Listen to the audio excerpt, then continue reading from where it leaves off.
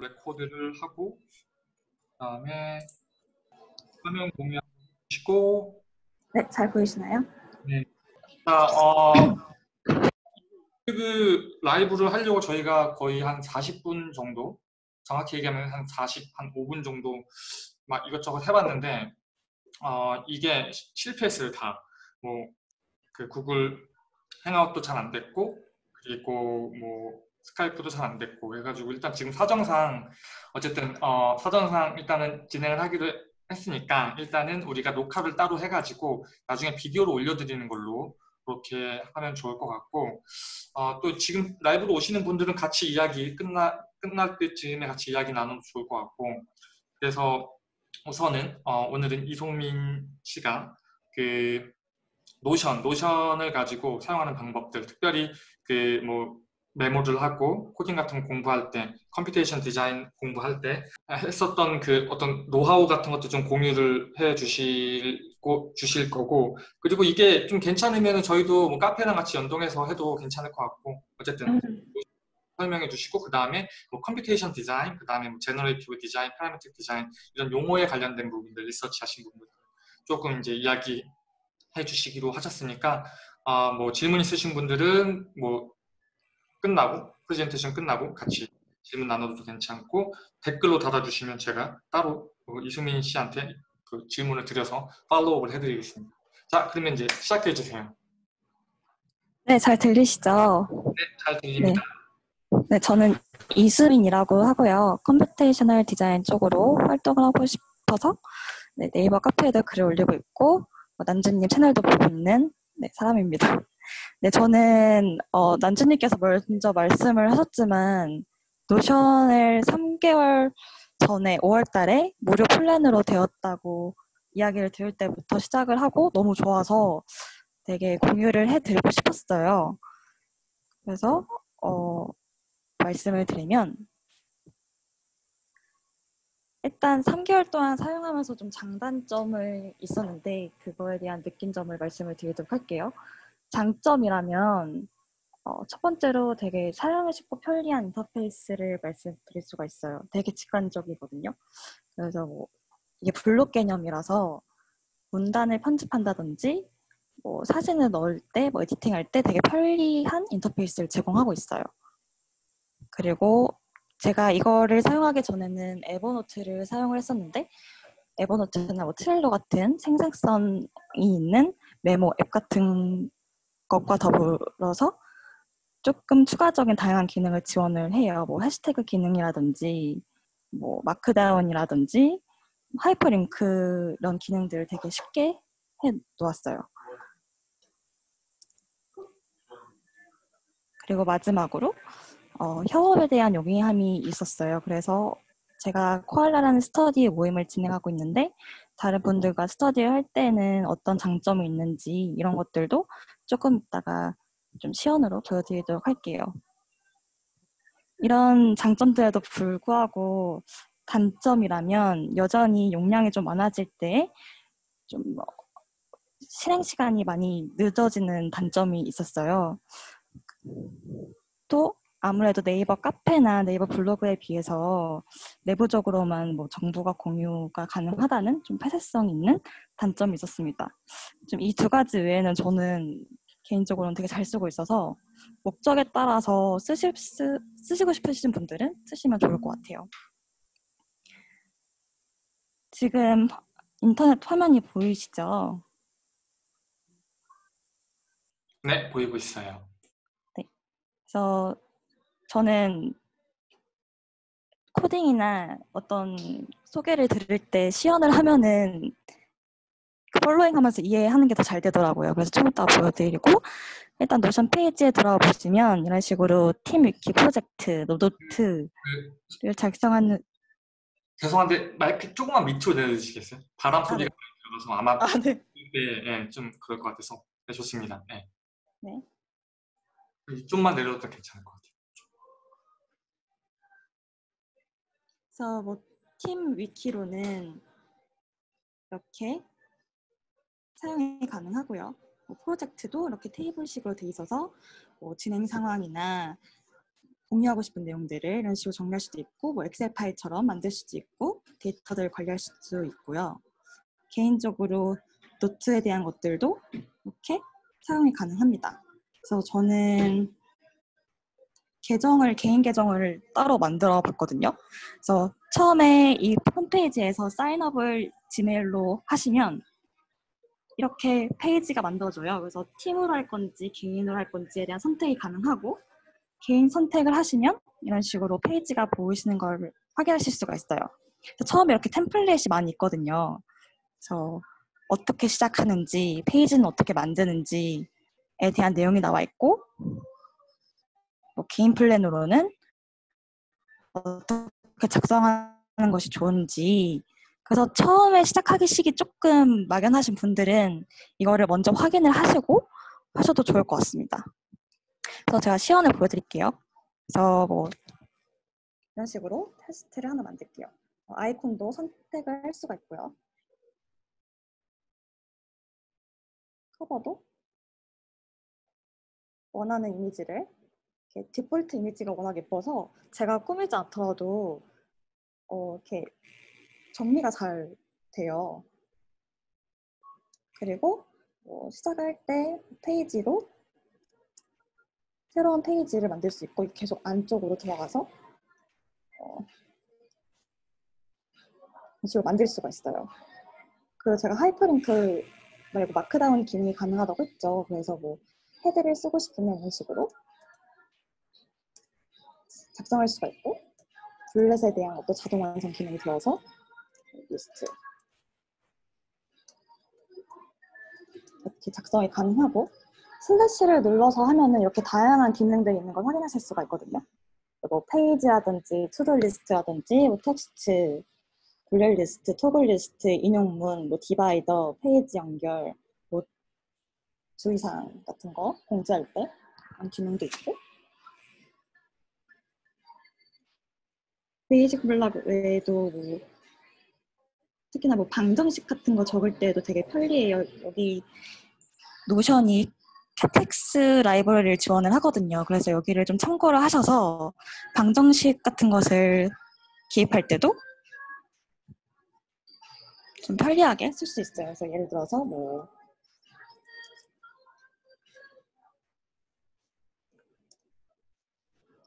뭐 이런 식으로 비교적 좀 쉽게 쉽게 정리가 가능하고요. 그리고 뭐 테이블로 목차 같은 거나 목록들, 뭐 엑셀 같은 파일들도 만들 수가 있고 특히나 구글 캘린더 사용하시는 분들은 어, 이렇게 캘린더 기능도 있어서 일정 관리하실 때도 되게 편하실 수가 있어요. 이렇게 일정.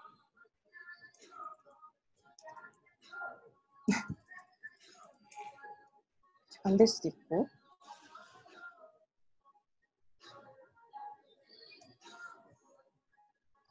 필요하신 기능들이 되게 많이 있어서. 결국에는, 결국에는 이렇게 에버노트 아까 말씀하신 것처럼 뭐 에버노트라든지 아니면 원노트 같이 노트를 이제 편하게 쓸 수 있는데 편하게 쓸 수 있는데 이게 이제 공유가 가능하다는 거죠. 명이 같이 와서 작업을 할 수 있고 스터디 같은 거, 코딩 같은 거뭐 뭐 숙제를 내거나 이런 거 할 때도 어, 같이 share하는 노트를 만들어 가지고 각자가 이제 뭐 과제 같은 걸 업로드할 수도 있고 그런 식으로. 하는 거죠. 그렇죠, 그렇죠. 그래서 여기 오른쪽에 보시면 share 버튼이 있어요. 그래서 제가 예전에 NURBS에 관련된 글을 썼을 때도 카페에 링크를 올려드린 적이 있거든요. 그래서 이렇게 링크를 올릴 수도 있고 사람을 초대해서 뭐 다른 분들을 초대해서 같이 edit나 뭐 정보를 공유할 수도 있고 그런 기능이 음. 있다고 보시면 되고요. 그러면은 아 그리고 기존에 에버노트 사용하셨던 분들은 이렇게 가져오실 수도 있고 뭐 워드 파일도 바로바로 가져오실 수 있고 뭐 아까 되게 사용이 편리하다고 했는데 이미지 같은 걸 넣고 싶을 때에도 되게 편해요. 이런 식으로. 그리고 여기에 쓴 글 같은 것들을 또 이제 그, 그 다른 쪽에 share할 수도 있고 그죠? 그럼 이쪽으로 들어오게 되는 거죠. 그렇죠. 그 다른 아이고, 다른 플러그인을 깔아야 되는 걸로 알고 있는데 음, 음. 이 노션 웹상에 있는 글들을 노션으로 가져올 때 깔 수 있는 플러그인이 있더라고요. 그래서 저는 사용해보진 않았는데 그 페이지에서 음. 글들을 다 가져오고 싶을 때는 음. 그걸 사용하시면 될 것 같아요. 그리고 뭐 되게 유용한 그 아카이브가 되겠네요. 개, 개인적으로도 그렇고 그룹적으로도 그렇고 연결됐나요? 인터넷이 어, 그렇죠, 그렇죠. 그래서 뭐 동영상 파일 이런 것들도 네. 편해, 편하게 음, 편집도 가능하고 이런 식으로 사이즈에 대한 조절도 편리하게 하고 있고 캡션 같은 거 달 때도 뭐 런던 이런 식으로 담을 수가 있어요. 그래서 뭐 시연은 이렇게 보여드리고 실제로 저희 스터디 모임에서 어떻게 사용하고 있는지 보여드리도록 할게요. 네. 저희 스터디에서는 AAD라는 교재를 가지고 매주 한 챕터씩 보고 있거든요. 그래서 약간 Grasshopper를 공부를 하는데 어떤 component를 누르면 된다 이런 식의 공부가 아니라 좀 이론적인 공부도 하고 그래스오퍼에 대한 원론적인 이야기도 좀 하면 좋겠다는 생각이 들어서 그 교재를 선택을 했고 예시도 되게 만족스럽게 하고 있어요. 그래서 교재 정리는 이런 식으로 챕터마다 내용들을 요약 정리하고 있고 또 추가적으로 알고 싶은 내용들을 페이지에 작성하기도 하고 이미지를 되게 쉽게 가져올 수 있어서 저번 모임 때는 메시에 대한 이야기를 하기도 했는데 이렇게 정리가 가능하고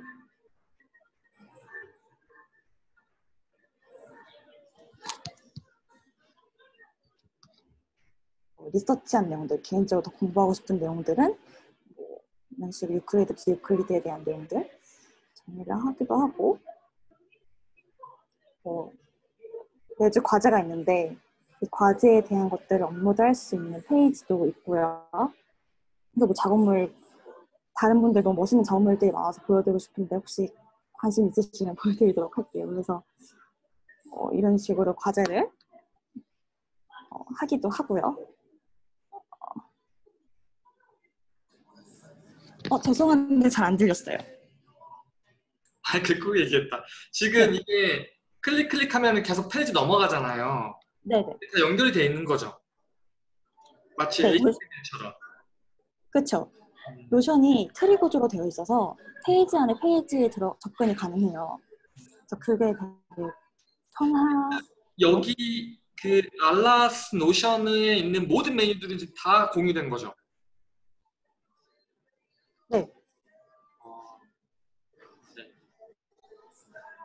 그래서 뭐 플렉이랑 스케줄에 대한 내용들. 약간 플렉이랑 뭐 에버노트랑 막 이것저것 다 이렇게 합쳐서 어떤 새로운 영역을 말씀해 그러니까 새로운 영역인 것 같은데 지금 막 생각하고 있어요. 이게 그쵸. 어떤 쪽으로 캐러글라이즈 해야지 좀 이렇게 안정적일까 마음적으로 기존에 있는 아,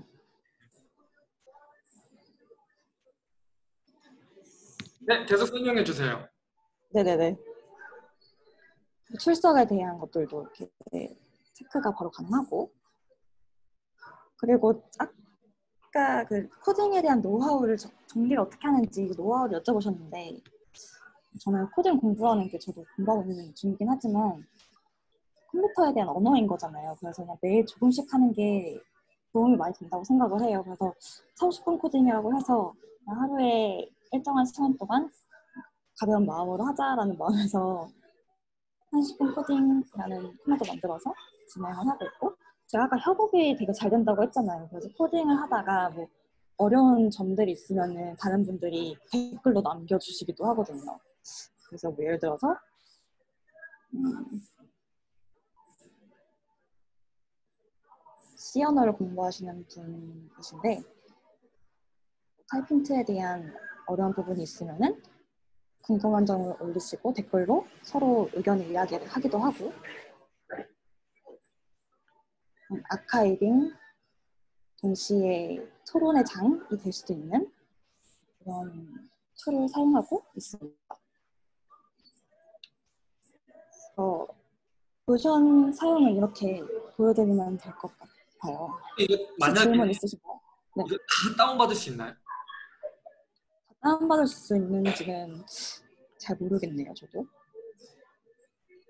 혹시 이게 네. export를 한번 해볼까요? 아, 여기 있네. PDF나 뭐 HTML이랑. 아, 그러면 아마 뭐 전체적으로 다 엑스포트가 되겠죠. 네. 혹시 다른 분들 여기 지금 물론 저 우리가 라이브로 하기로 해서 지금 라이브에 많이 기다리실 것 같은데 예, 대기자가 지금 몇 분 계시는데 음, 여기 계신 분들 우리 박주한 씨나 예, 아키텐더 분 혹시 뭐 질문 있으신가요? 어, 일단 자세한 시연 영상 어, 그냥 이게 구조적으로 뭐 어떻게 아카이빙하고 쉐어하는 거에 대해서는 네 자- 새로운 앱으로 다가오고는 있는데 어, 좀 더 어떻게 자세히 활용하는 거를 어, 어떻게 하나 더 보고 싶은데 네 자세히 활용하는 거. 제 생각에는 약간 이렇게 그런 것 같아요. 우리가 뭔가 배운 다음에 실습, 실습을 해보잖아요. 그런 것처럼 일단 깔고 한번 아무거나 해보는 거. 네, 뭐 개인적으로 뭐 to-do list를 만든다던가 아니면 네. 과제 같은 거 할 때 일부러 이걸 한번 involve 해본다던가. 근데 되게 이렇게 potential은 있어 보이네요. 우리가 작업할 때 좀 consistent하게.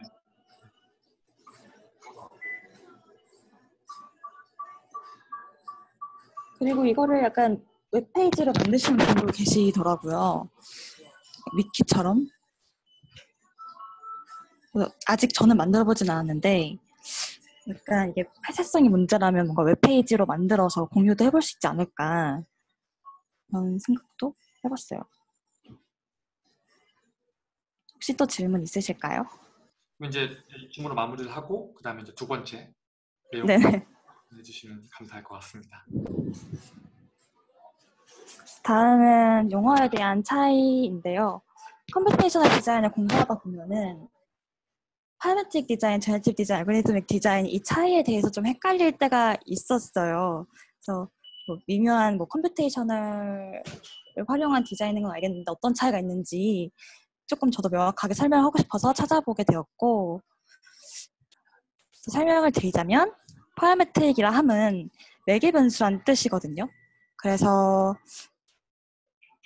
여러분들이 Grasshopper로 number slider로 뭐 정육면체의 도형을 조정한다든지 이런 매개 변수를 활용해서 디자인을 하는 것을 parametric 디자인이라고 해요. 그래서 기존의 캐드나 뭐 Rhino 같은 경우에는 마우스로 객체 자체를 조정을 하잖아요. 그래서 history에 대한 기록이 없고 주변의 시스템 간의 연결고리가 있는 게 아니라 독립적인 객체로만 있다. 자 들리세요? 저도 잘 안 들리는데 인터넷에 약간 문제가 있는 것 같아요. 네, 잠깐만 우리 수민 친구 다시 들어오면 여기부터 설명해 달라고 해야겠다. 지금 수민 친구 사이드에서 인터넷이 약간 connection이 좋지 않은 것 같아요. 아까 네, 이것저것 해보려고 했는데 어, 들리세요, 수민 친구? 수민 씨 들리세요? 네. 수민 씨 살아 있어요? 링크 그래스호퍼 나무 같은 것을 사용하면 들리세요? 들리세요? 네네네. 어, 화면 다시 공유해 주세요. 이, 이 커넥션이 워낙 안 좋았어서 예, 어디까지 들으셨나요? 어, 저기 geometry가 예, 여기 여기 이 부분 이 부분 parametric 예, 이 부분부터 네. 해주세요. 네, 제가 편집할게요 이 부분. 아, 네, parametric 디자인이라 하면 그 정의가 정의는 들으셨죠? 네네네. 캐, 캐드 얘기까지 들었어요. 명령어들. 딴 데는 history가 있는데 그 캐드나 이런 데서는 좀 없는 것 같다. 네네네. 그래서 이런 parametric 디자인은 좀 더 시스템적으로 디자인이 가능한 것을 이야기한다고 생각하시면 돼요. 그래서 보통 parametric 디자인을 하면 많은 디자이너 분들께서 이렇게 비정형적이고 좀 화려하고 패턴이 있는 디자인을 생각을 하시더라고요. 실제로 구글 검색을 해보면 이런 디자인들이 많이 나오기도 하고요. 근데 이런 것뿐만이 아니라 어, 간단한 정육면체 뭐 내지는 직육면체를 디자인할 때에도 이렇게 변수로 조정이 가능하면 이것을 parametric 디자인이라고 한다. 이것을 말씀드리고 싶었고 generative 디자인이라 하면 생성적, generative 자체가 생성적이란 뜻이거든요. 그래서 알고리즘이 최적화된 디자인을 위한 여러 개의 옵션을 자동으로 생성을 하는 것이에요. 그래서 디자이너가 목표 설정을 하면 컴퓨터가 여러 가지 옵션을 제안을 하고 디자이너가 선택을 하는 거죠. 그러니까 이 generative 디자인이라는 것 자체가 자연 선택, 그러니까 찰스 다윈의 자연 선택과 조금 유사하다고 저는 생각을 해요.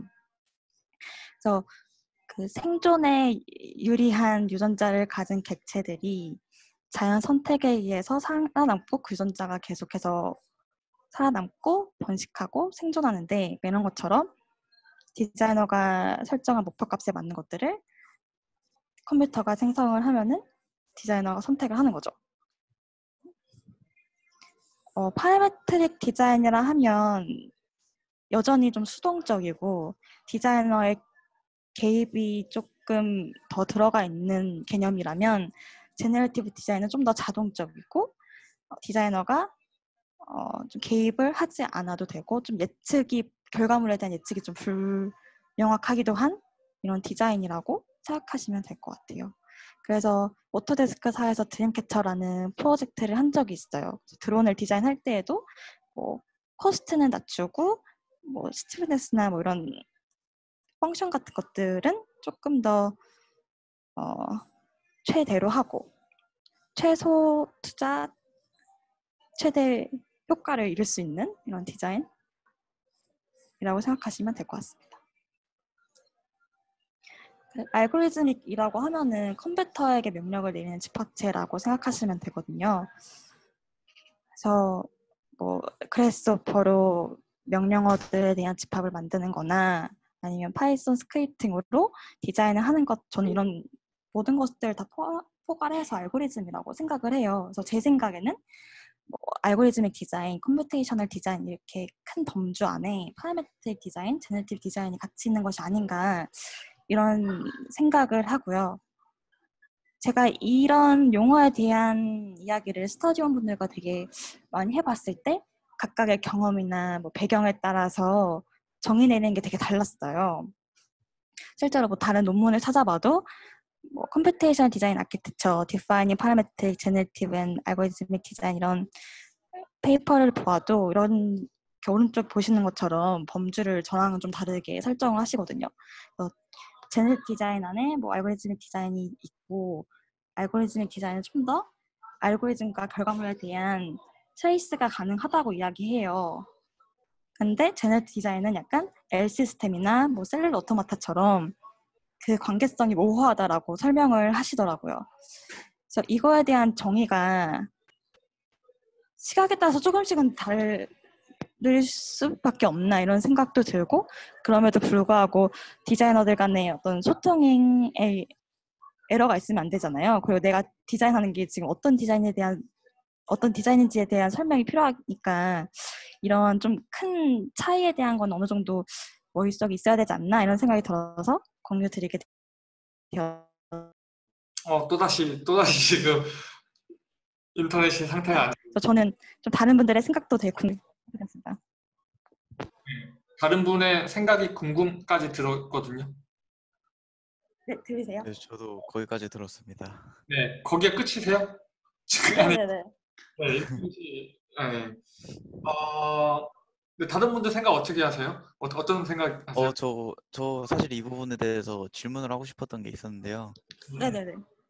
근데 이제 그 용어의 정의적인 측면에서 이렇게 발제를 던져주시고 이제 그거에 대해서 이렇게 스스로 정의도 해보시고 하셨는데 사실 이제 저희가 뭐 어떤 단어에 대해서 행정적으로나 뭐 일적으로나 뭐 각자 그 뭐 어떤 영역에서 이제 단어를 정의할 때그을 정의가 어떻게 작용을 하냐에 따라서 어 사실 대화가 어떻게 흘러가는지가 주, 다르잖아요. 그 방향이.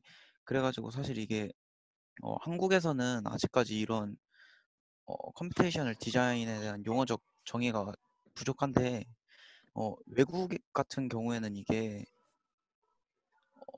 좀 더 확고하게 정의가 되어져 있나? 그런 부분에 대해, 대해서 사실 그 먼저 이렇게 계속 공부해 오신 그 이남주 선생님께 질문을 하고 싶었거든요. 이게 어, 한 분야의 뭐 어떤 권위자 정도 되시는 분이 어, 이거는 이렇게 이렇게 정의를 하자 이렇게 해서 실제로 그게 이제 두루 쓰이고 있는 어떤 정의가 있나 궁금해서 이렇게 질문을 드리고 싶었습니다. 어, 네, 뭐 개인적인 그 생각을 질문에 대한 답을 드리면 어, 누군가가 하고 있겠죠. 네, 누군가가 정의를 아까 말씀하신 것처럼 그 권위가 있고 뭐 그게 영향력 계신, 가지신 분이 어, 올바른 정의를 내려주면 좀 더 도움이 되겠죠.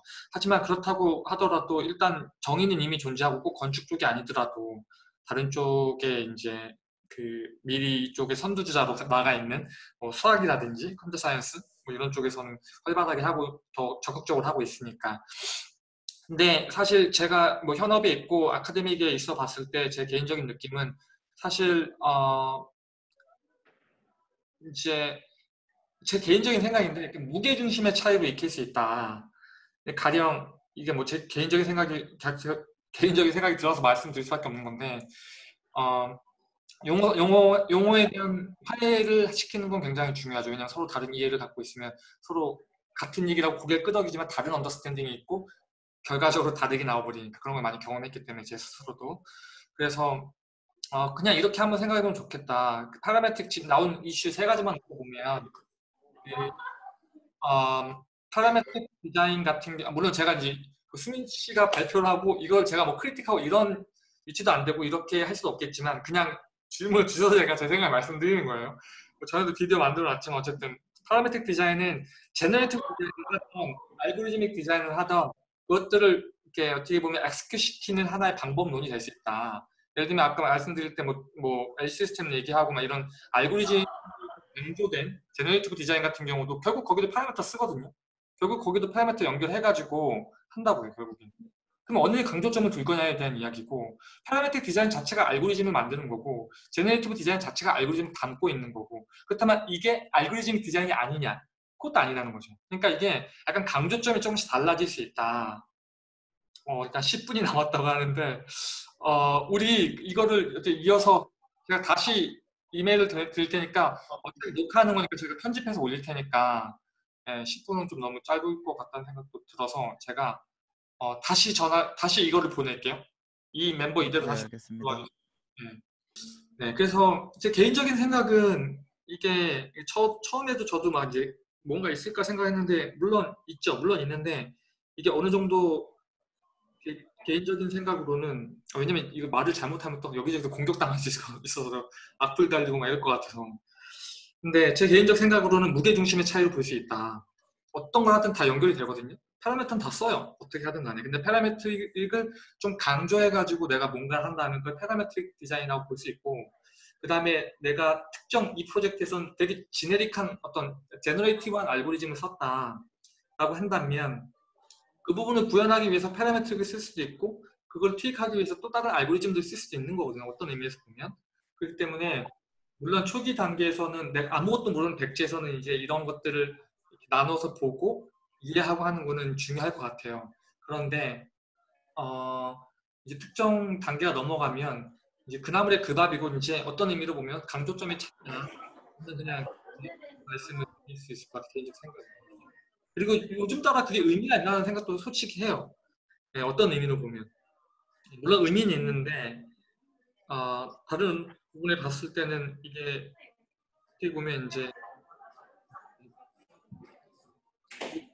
대학교 처음 들어갔을 때 생활하는 방법들 그걸 대학교 막 유형들 나눠놔 막 예? 예를 들면 얘는 뭐 도서관에서 있는 뭐 이런 유형 이런 근데 그 유형대로 산다 하더라도 똑같은 다 대학생이고 내가 막상 대학생 유형 한쪽보다 언제든지 할 수 있는 거예요. 그렇기 때문에 이게 초기 단계에는 이- 어떤 것들 아무것도 없는 상태에서 이해하기에는 편, 도움이 돼요 분명히. 하지만 어느 단계 넘어가면 그걸 뛰어넘어서 그냥 하면 된다. 이렇게 개인적인 생각이 들어요. 음. 예. 태민 씨는 어떻게 생각하세요? 그러니까 뭐 디자이너 분들이 어쩔 수 없이 이렇게 만들어 가면서 디자인을 홀딩이 되는 것도 사실인 것 같고 어, 그럼에도 불구하고 좀 사이에 대한 의문은 항상 있었으니까 그거에 대한 한마디의 정리라고 한다면 이렇게 분류를 할 수 있지 않을까라는 생각이 들었던 것 같아요. 저도 되게 동의하고 정리 잘 해주신 부, 부분들이 있어서 같이 공유하면 좋겠다라고 이제 해서 그 이제 말씀을 드린 거였고 약간 좀 강조점의 차이 우리가 어떤 한 프로젝트를 할 때 가령 야좀 파라메트릭하게 접근해 보자. 그 대충 뭐- 머릿속에 드는 생각들이 있죠, 그죠? 그러니까 요거는 조금 좀 제너레이티브하게 접근해 보자. 라든지 예, 그런 식의 어떤 강조점을 둬서 가면은 좋지 않을까 라고 생각을 하고 그리고 그 외에 또 다른 텀들은 없었나요?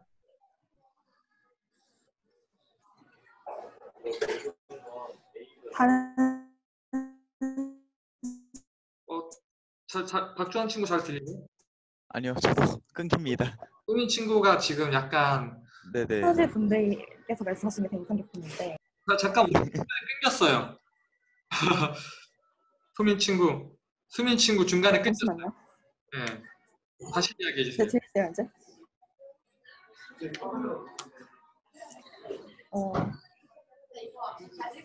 알고리즘이 먼저 필요로 해서, 그러니까 필요에 따라서 그 시간을 순서를 나누신 분도 계셨고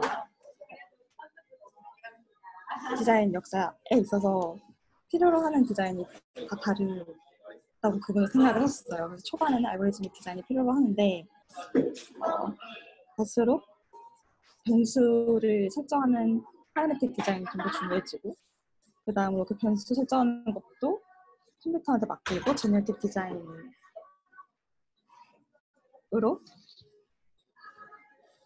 그 중요도에 따라서 시대에 따라서 필요한 그 중요도에 따라서 구분을 하신 분도 계셨고.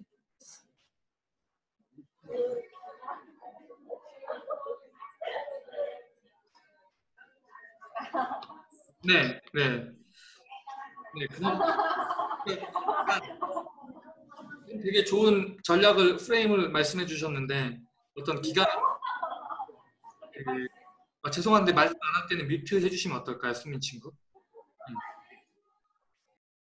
음. 네, 백그라운드 막 이것저것 들려와서 어쨌든 네, 어, 네 물론 이거를 기간이라 그러니까 어떤 걸 평가할 때 어, 어떤 프레임은 중요한 것 같아요. 그래서 뭐 시간으로 보던 아니면 작업의 어떤 진척 속도라든지 역사적으로 보던 그렇게 보면 분명히 단서들이 있고 그 단서라는 그 렌즈를 통해 가지고 어, 그 키워드들을 보면 분명히 우리에게 이야기해 줄 수 있는 그런 것들이 있을 것 같다라고 말씀드리고 지금 사실 그 우리의 시, 신이찬 형이 들어오려고 지금 하고 있는데 아, 우리 이분 생각도 한번 들어보면 좋을 것 같은데 지금 조이닝 되고 계속 지금 점점점이에요. 들어오고 있는 것 같은데 우리 아키 텐더 친구는 어떻게 생각하세요?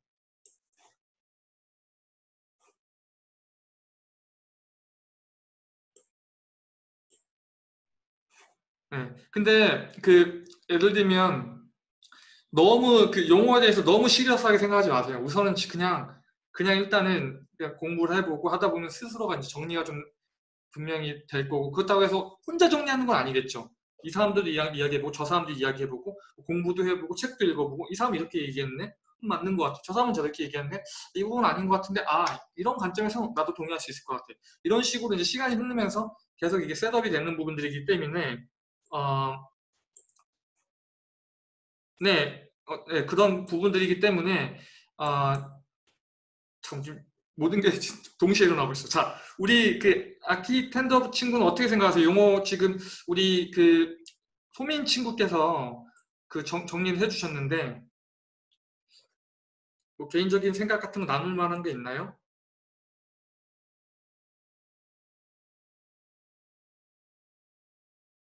그래서 마, 음, 네, 마이크를 언뮤트하고 하셔도 될 것 같은데. 가능하다면 네. 그리고 우리 지금 희찬이 형께서 들어왔어요. 신희찬 씨께서 들어오셨는데 지금 그 수민 친구께서 수민 씨께서 아저 입이 붙어 수민 씨께서 parametric 디자인 그 다음에 algorithmic 디자인 parametric 디자인에 대한 용어를 이제 정리를 해주면서 지금 그걸 갖고 이야기를 하고 있어요. 그래서 그 아키텐더 씨께서 그거에 대한 생각을 공유해 주시고 그 다음에 이제 신희찬 씨한테 어, 마이크를 넘겨서 들어보도록 해봅시다. 준비해 주고 계시고요. 만약에 아키텐더 분께서 죄송합니다. 아키텐더 분께서 시간이 걸리시면은 그 시찬 씨께서 마이크를 언뮤트 하시고 말씀해 주셔도 좋을 것 같아요. 카메라 켜주세요, 형 그냥. 카메라 켜주세요. 아니, 내가 지금 집이 아니라 지금 바깥이라서 지금 얘, 얘- 내 얘기가 들리나요? 들리고 있어요, 네네.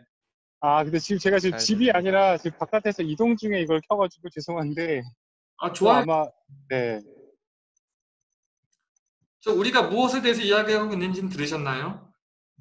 네, 그러지 않아도 그 포스팅하신 그거 관련돼 가지고는 네, 저도 읽어 가지고 그거 관련돼서 혹시 말씀 나누고 계셨나요? 아니면 그거 관련돼서 또 뭐 추가적인 다른 얘기를 하고 계셨던 건지 제가 사실 지금 들어오는 바람에 네, 지금 얘기를 하고 그 계셨는지. 이야기하고 있었어요. 아, 그래서 형, 형 생각은 어떻게 하시는지 형 생각 좀 공유해 주실 수 있나요? 어, 뭐 어떤 죄송한데 어떤 거에 대한 생각이요? 그 뭐 정의나 이런 부분에 대해서 말씀하시는 건가요? 아니면은 뭐 어떤 뭐 질문은 다른 네 질문이 있었나요? 죄송해요 못 들어가지고 질문은 딱히 없고 그냥 그 parametric 디자인, 뭐 algorithmic 디자인, 네. 그다음에 어, generative 디자인을 형은 어떻게 이해하고 계시는지 우리에게 좀 같이 소개해 줄 수 있나요? 아 글쎄요 뭐 일하는 차원에서 보면 그거를 뭐 굳이 구분을 해서 뭐 예를 들어 이번에 어떤 A라는 프로젝트에 어떤 부분을 하는 데 있어서 그거를 뭐 그거를 어떤 그 말 그대로 세 부분을 나눈 영역에 따라서 다르게 접근한다라기보다는 아무래도 그 뭐랄까 efficiency라고 해야 되나? 효용성 측면에서 그 중에 어떤 부분을 generic하게 만들 거고 어떤 부분을 예를 들어 parametri- parameter 디자인이라고 하면 이제 parameter가 정 어떻게 보면 driven하는 거니까 그 parameter가 과연 어떤 parameter인가? 예를 들어 뭐 협 어떤 협업을 위해서 다른 discipline에서 오는 parameter인가? 아니면 우리가 내부적으로 어떤 analysis tool을 돌리기 위해서 뭐 파생적으로 만들어내는 parameter인가? 뭐 예를 들어 막 그런 조건에 따라서 항상 이렇게 결합되는 부분인 것 같아요. 그래서 지네릭한 건 항상 필요하고 어떻게 보면 지네릭한 거는 되게 뭐랄까 그냥 되게 플랫폼 같은 것 같은 것 같은 것 같아요. 일을 하다 보면 어쨌든 그 프로세스에서 우리가 하고자 하는 게 결국은 이게 지네릭한 부분에 녹아져 있는 것 같고 파라메트릭한 부분은 과연 이 프로젝트에서 특성화되는 파라미터가 뭐냐에 따라서 그 부분을 뭐 어느 정도 따로 좀 옵티마이즈를 하거나 따로 떼거나 뭐 그렇게 할 수도 있을 것 같고 그래서 제가 볼 때는 되게 정리를 해주신 거 보면 되게 개념적인 부분은 되게 clear하고 그거를 어떻게 보면 이제 디자이너 입장에서는 아마 프로젝트를 진행하거나 아니면 목표가 생겼을 때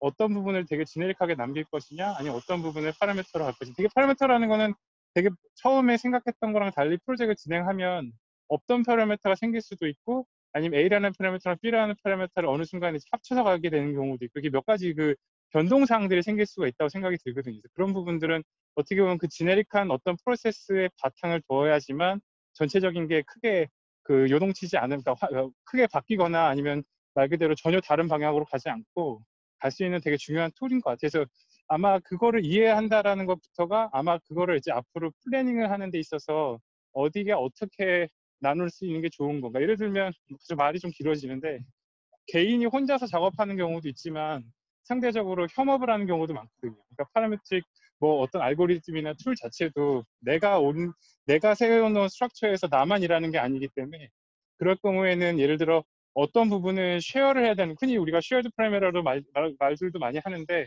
그게 나눠가지고 작업해야 되는 부분들에 있어서는 어떻게 보면 각각의 그런 개체들이 갖고 있는 generic한 부분이 있고 그 다음에 그런 parameter들을 서로 share하는 측면에서 어떤 부분을 parameter 뭐랄까 제가 뭔가 이렇게 주제가 없는 상태에서 말씀드리니까 되게 좀, 좀 뭐랄까 이해하기 어려울 수도 있는데 협업하는 단계에서는 사실은 parameter라는 게 어떻게 보면 되게 원초적인 단위이기 때문에 그런 부분들에 대해서 좀 조정을 해야 되는 부분이 항상 생기더라고요. 그래서 그렇게 서로 나누는 parameter들 그리고 각각 discipline들이 자기네들이 원하는 측면에서 analysis가 됐든 뭐 뭐 시뮬레이션이 됐든 그런 부분에서 지네릭하게 돌아가는 부분이 있고 그렇게 좀 그 변동적으로 어떻게 보면 그 디자이너의 어떻게 보면은 어, 경험치나 아니면 스킬셋이 조금 더 묻어날 수 있는 그런 부분이 될 수도 있을 것 같아서 뭐 그걸 이렇게 굳이 제 입장에서는 구분을 짓는다기보다는 이렇게 요리를 만드는 데 있어서 들어가는 좋은 양념들, 양념들, 그 재료들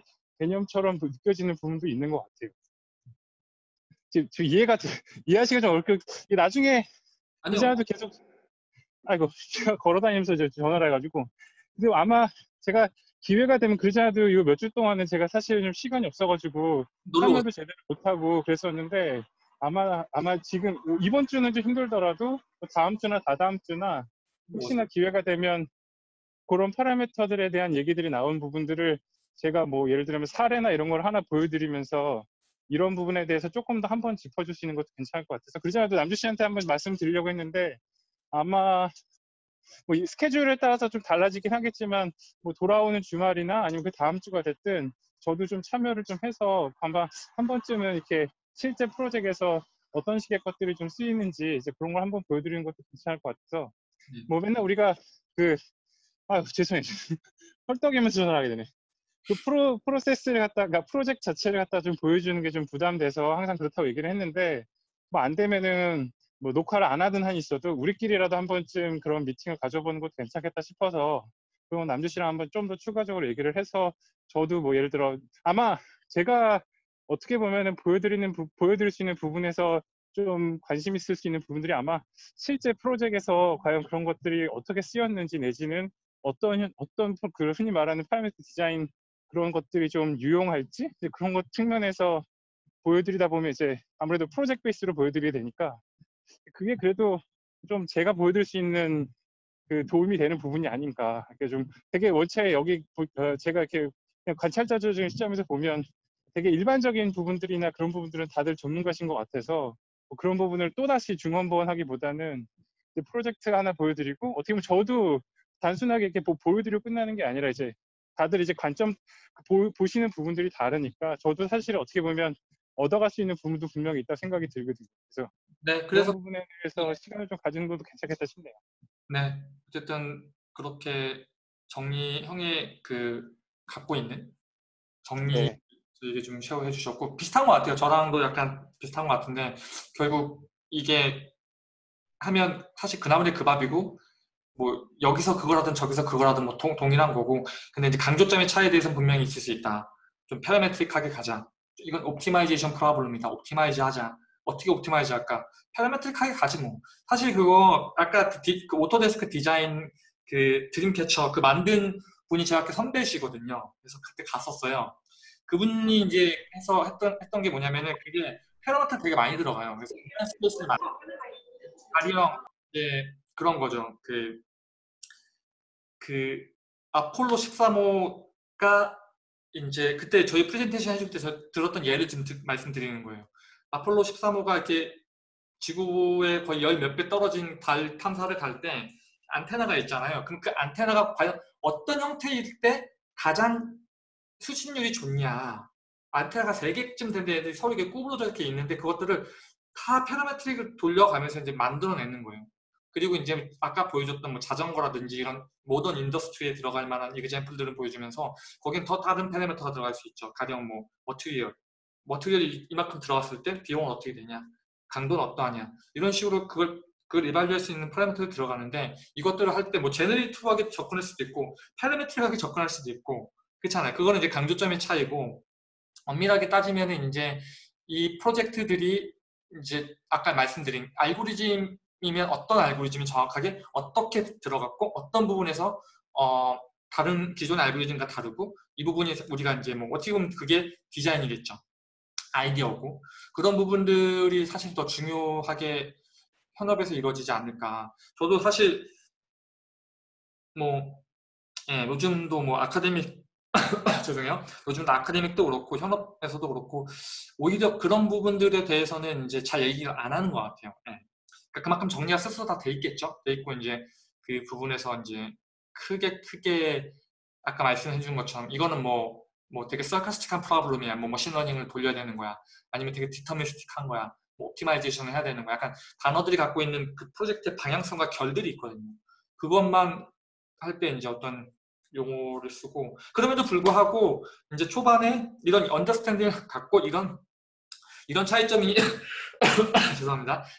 이런 차이점이 있다는 걸 우리가 알고 공부하는 거는 당연히 굉장히 큰 도움이 되죠. 그래서 정리를 해주셔가지고 이거를 같이 나눠보면 좋겠다라고 어, 한 건데 우리 수민 씨는 어떻게 생각하세요?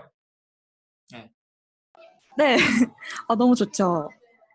실질적으로 이렇게 일하시는 분들 얘기도 들어보고, 아, 이런 관점의 차이가 있다. 그러니까 결국에 희찬님하고 남준님하고 공통적으로 좀 비슷하게 말씀하신 게, 프로젝트의 뭐 목표나 뭐 디자이너의 목- 의도에 따라서 이 프로젝트가 중요점이 되는 게 파라메트릭이냐 제네틱이냐 그 차이가 있는 것 같다. 그렇게 말씀을 하신 것 같아요. 그러면은 그 네, 네. 결국 중요한 게 그냥 프로젝트가 어떤 프로젝트냐. 어떤 강조점을 줄 거냐 이게 좀 음. 그게 좀 개인적으로 생각을 하고 있고 우리 아키 죄송합니다 아키 텐더 친구 준비됐나요? 아, 들리시나요? 네 아, 네네. 아, 그 저도 처음에는 어, PD, AD, GD 이야기 했을 때, 그 다양한 사람 만났을 때 레빗을 사용하시는데 그 parametric design을 할 줄 아냐고 이렇게 물어보는 사람이 있었어요. 그래서 아까 그 수민님께서 보여주셨던 것처럼 그 PD, 그러니까 parametric design을 검색하면 아까 paneling 뭐 디자인 이런 것도 보이기 때문에 그, 그 다양, 그좀 geometric design 부분의 조금 이거를 parametric design이다 이렇게 생각하시는 분도 있는데 실제로 Revit도 그 매개 변수를 변경하면서 뭔가 tool을 이용하는 거기 때문에 어떻게 보면 Revit도 parametric design이라고 생각하고 있었는데 어떤 사람은 이렇게 paneling이 parametric design이다 이렇게 생각하실 수 있다. 이렇게 말씀하신 부분에 헷갈렸던 부분이 있었는데 어, 그 수민님이 마지막에 정리한 부분에 주제에 맞춰서 다른 사람들과 이야기하거나 논문을 읽었을 때 어, 느낀 점은 사람마다 이제 본인의 경험에 따라서 조금씩 다르게 정의한다는 부분에 대해서 아 이런 부분도 다른 분도 같이 똑같이 생각하고 있구나 이렇게 생각이 들었고 그다음에 여기 이 네, 라이브 방송에서 아 라이브에서 아 줌에서 말씀해주신 그 남준님, 희찬님께서 말씀해주신 것처럼 활용성이나 업무 방향성의 의도성에 따라서 구분이 된다 이렇게 말씀해주셔서 좀 오늘 이 자리에서 좀 정리가 된 것 같습니다. 그러니까 만약에 그 네, 패널링 말씀하셔서 어떻게 보면 주제가 좀 더 제가 말씀드리기에 만약에 그걸 만약에 예를 가서 예를 말씀드리면 뭐 그런 거죠. 그러니까 parametric design이라고 하면 상당히 되게 논리적인 거잖아요. 그러니까 말 그대로 surfacing에다가 만약에 거기다가 어떤 패널 그리드를 치고 그거에 대해서 여러 가지 mullion이나 이런 것들 처음에 자기가 생각했던 이게 Revit을 말씀하셨으니까 그게 뭐 adaptive component가 됐든 아니면 일반 Revit family가 됐든 내가 뭐 어떤 reference plane에 해당해가지고 정해진 어떤 어, 뭐랄까 parametric design 자체가 이렇게 주, 그 define 되는 그런 geometry가 있잖아요. 그래서 뭐 말 그대로 design surface가 바뀌었을 때 뭐 그런 parametric 그러니까 패널 패턴이나 아니면 그거에 따라서 그 안에 이제 말 그대로 populating 되는 그, 패, 그 family 자체가 업데이트 된다던가 그러니까 그 프로세스 자체는 되게 parametric한데 그 실제적으로 우리가 건물을 디자인해가면서 그냥 그게 그런 식으로 모델링 돼가지고 뭔가 자연스럽게 그런 어떤 parametric한 연결고리에서 populate 되는 게 목적이 아니라 결국 이제 그 말 그대로 모델링 된 그 geometry 자체가 실질적으로 우리가 뭐, 뭐 그러니까 뭐랄까 constructability라고 해야 되나? 그 실제 fabrication 되고 공사 현장에 같이 가려면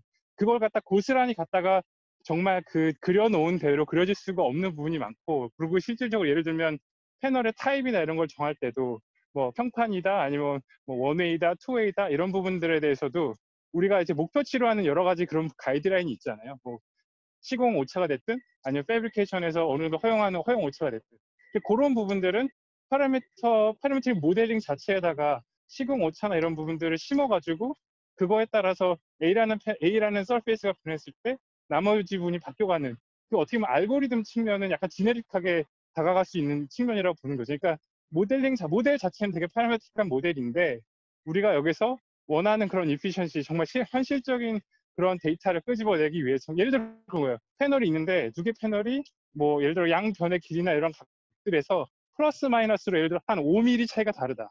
그럼 우리가 이거를 다른 패널로 봐야 될 것이냐, 같은 패널로 봐야 될 것이냐.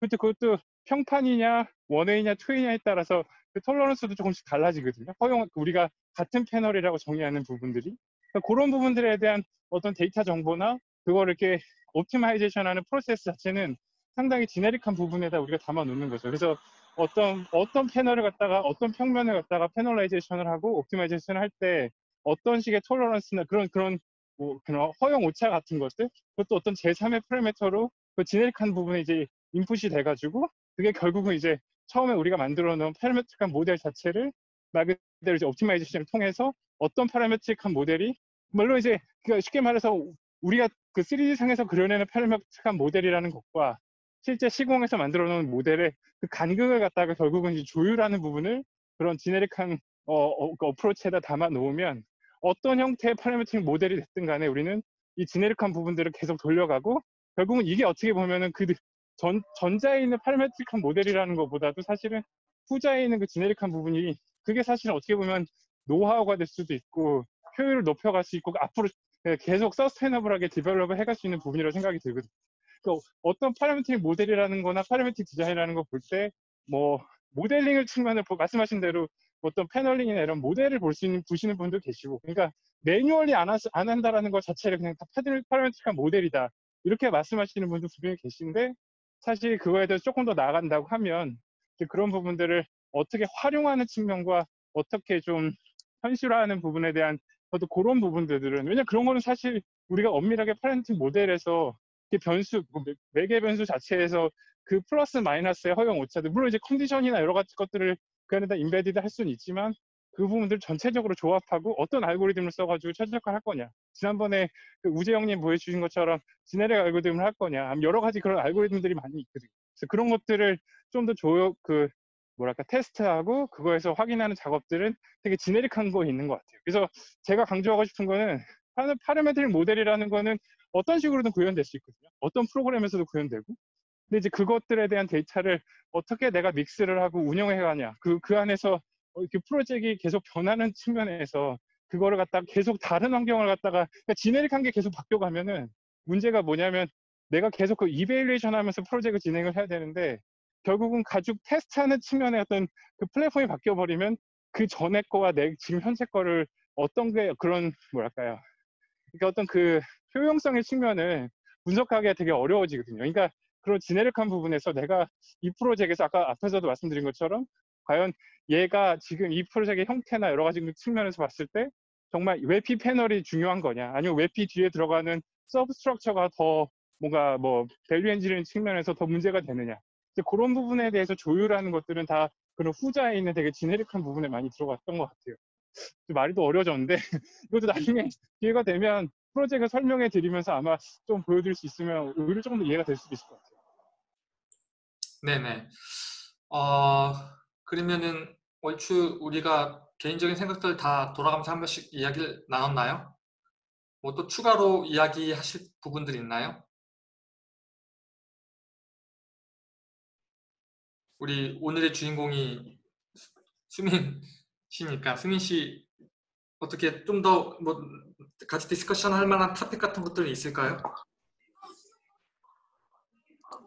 조율을 하는 게 이제 generic design 이라고 희찬님께서 말씀을 해주셨는데 네, 알고리즘 그, 그 일반화 시키는 것보다 그 한 부분에서 예, 그한 어, 하나 예를 들어서 이런 식으로도 저런 식으로도 계속 지금 예를 들어주신 거거든요. 이건 이거다라고 음, 음, 어, 그러니까 이게 좀 네. 표현을 더, 더 심플하게 하면 이게 말이 되는지 모르겠는데 제가 지금 막 걸어가면서 하다 보니까 떠오른 건데 내가 팔을 움직이고 다리를 움직이는 거는 되게 물리적으로 인과관계에서 움직이잖아요. 이거 되게 파라메트릭한 거란 거 말이에요. 물리적으로 그, 그, 그 무게중심 움직여가면서. 근데 내가 여기서 걷을 때 어떻게 걸으면 내가 힘을 좀 덜 쓰게 걷게 된다던가 아니면 어떻게 하면 더 빠르게 걷게 된다던가 이거는 어떤 파라메트릭한 그런 메커니즘을 더 측면을 더 하나 넘어가서 어떻게 보면 그거에 대한 효용성을 내가 디자인하는 과정이잖아요. 그런 부분을 제가 볼 때는 좀더 지네릭한 부분으로 보는 거죠. 그러니까 이거는 걸을, 걸을 때도 쓸 수 있고 뛸 때도 쓸 수 있고 뭐 심지어는 다른 형태의 동작을 할 때도 쓸 수 있는 되게 그런 원천적인 그런 알고리즘이라고 해야 될까? 그런 부분이 조금 더 지네릭하다고 보는 측면인 것 같아요. 제 입장에서. 근데 잠깐 잠깐 여기서 약간 용어를 약간 제- 저걸 하고 가면 형 제너릭이에요, 지네릭이에요? 형이 말씀하시는 거는? 예, 왜, 왜냐면 되게 예, 제너러티브라고 많이 말도 하는데 되게 글쎄 지네릭이라는 표현을 하면 좀 더 광범위하다고 표현을 해야 되나? 아니 모르겠어요. 그 컴퓨터 그 science 뭐- 쪽에서 generic이라고 하면 이게 일반화 시키는 그런 게 좀 있거든요. 좀 약간 그쵸, 그쵸.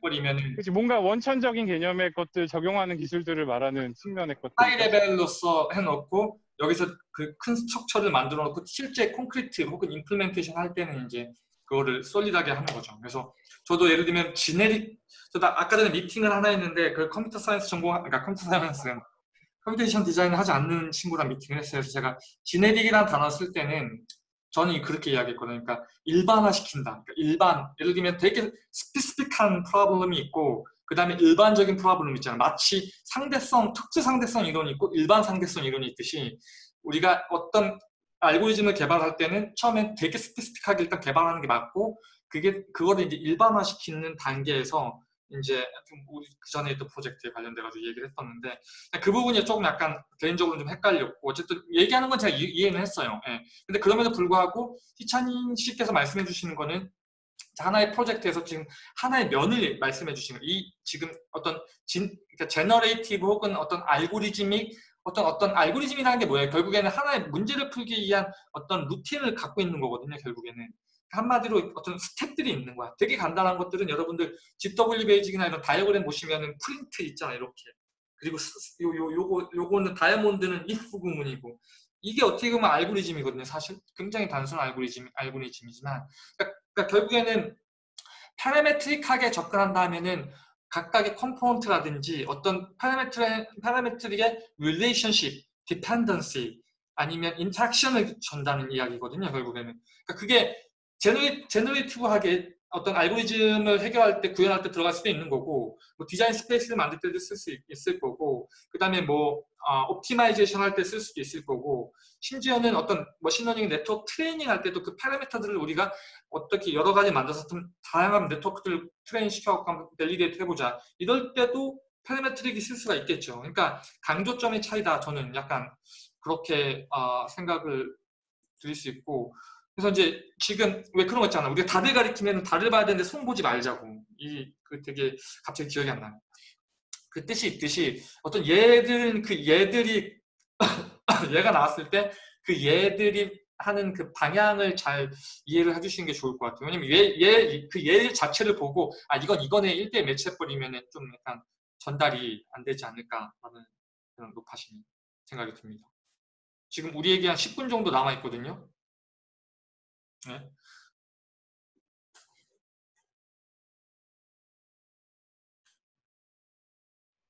음, 그 제네티브 디자인으로 최적화를 하고 조율할 때 여러 가지 알고리즘들이 사용이 되잖아요. 실제로 프로젝트를 하실 때그 알고리즘에 대한 소개도 해주셔도 좋을 것 같아요. 알고리즘에 대한 소개도 해주셔도 좋을 것 같다는 생각이 들었어요. 그때 희차님께서 프로젝트를 아, 네, 그, 예, 저도 그렇지 않아도 뭐 사실은 저희들 하는 것들이 되게 뭐 다른 인더스트리에 비해서 그 최적화라는 측면에서 막 예를 들어 robotics나 이런 데처럼 막 high level로 하지는 않아서 사실은 되게 뭐 예를 들어 뭐 genetic algorithm이나 그런 것들이 사실은 되게 좀 많이 popular까 좀 쉽게 쓸 수 있는 뭐 예를 들어 그런 부분들에서 많이 쓰고 있는데 아마 프로젝트 하나 소개해 드리면서 뭐 어떤 genetic, 그러니까 generative algorithm에도 되게 여러 genetic algorithm들도 되게 여러 가지 그런 approach가 있는데 그 중에 어떤 approach를 갖다 사용을 했는지 예, 그런 것들은 제가 설명해 드릴 수 있을 것 같아요.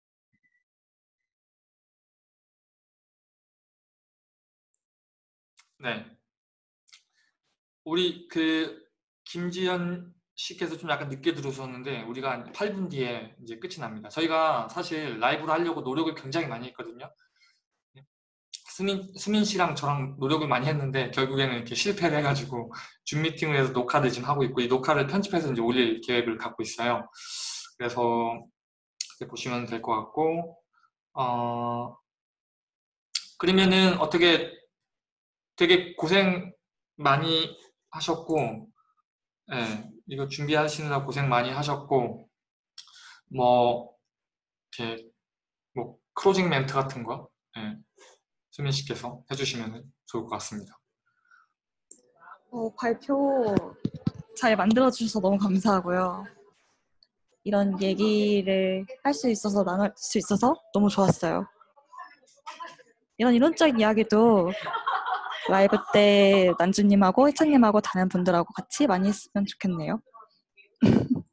네, 아니 뭐뭐 하면은 좋죠, 저도 하면 뭐 하루에 몇 시간이라고 떠들 수 있는데 이게 이제 아 약간 그 좀 그렇게 있죠. 예, 하여튼 그 모난돌이 정 맞는다고 그냥 뭐 갖고 있는 그러니까 자기 생각을 얘기한다는 게 사실 한국적 문화에서는 사실 이게 쉽지가 않거든요.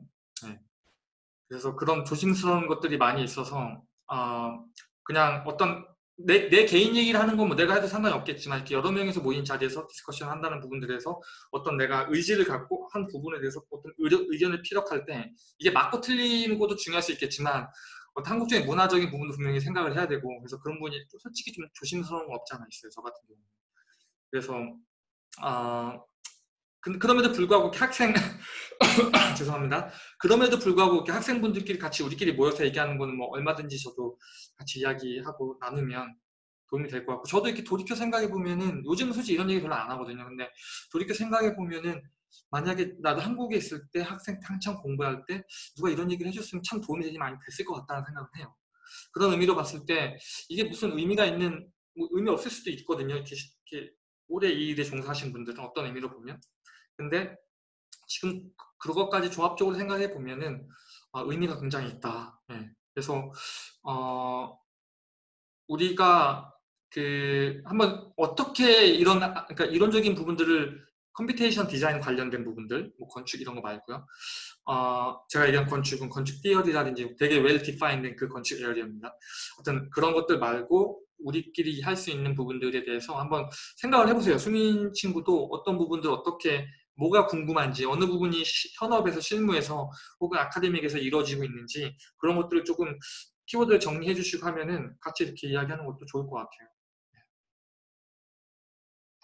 그러면 진짜 말씀 나 다음 주에 혹시 누가 이렇게 지금 뭐 list up 되신 분이 계신지는 모르겠는데 저도 맨날 이렇게 그냥 말로만 하기는 좀 뭐해서 진짜 그냥 우리끼리 정말 close circle에서라도 발표할 수 있게끔 제가 오늘 나온 예를 들어 그런 parametric 디자인이라는 부분에 대한 예시만 몇 개 해서 너무 또 길게 막 쭉 발표하는 것도 별로 의미가 없는 것 같고 그런 부분들 한두 개씩 프로젝트에서 했던 것들 뭐 프로젝트 소개보다는 이제 거기에 들어갔던 어떻게 보면 이제 요 관련된 얘기들만 몇 개 던지고 그리고 나서 저도 피드백을 받는다던가 아니면은 뭐 어떤 궁금하신 부분을 제가 답변할 수 있는 그런 걸 한번 가져도 좋을 것 같아서 만약에 예를 들어 다음 주에 아무도 안 하시면 제가 뭐 짧게 뭐 완전 뭐 그렇다고 무슨 프레젠테이션 한다기보다는 뭐 하나 이렇게 던져놓는 측면에서 얘기하기 어떻게 보면 뭘 하나 던져놓고 얘기하는 게 나을 것 같기도 해서 그럼 제가 다음 주에 뭘 하나 준비해 볼게요.